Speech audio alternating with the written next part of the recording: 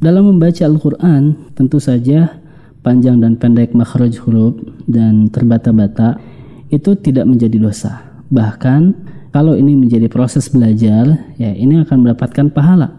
Hadis yang diriwayatkan lima Muslim, ya al-mahiru bil Quran, orang yang mahir dalam membaca Al-Quran, maka dia bersama malaikat yang mulia dan terpuji. Adapun orang yang yatata'ta bil Quran, orang yang terbata-bata dalam membaca Al-Quran, sulit membaca Al-Quran, falahu ajran. Kata Rasulullah, maka baginya dua pahala. Hadis ini diriwayatkan oleh Imam Muslim.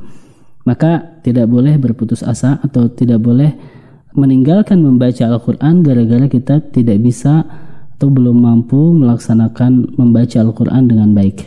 Maka tugas berikutnya dalam keadaan ia tata ini atau terbata-bata ini juga punya kewajiban untuk senantiasa terus memperbaiki bacaan.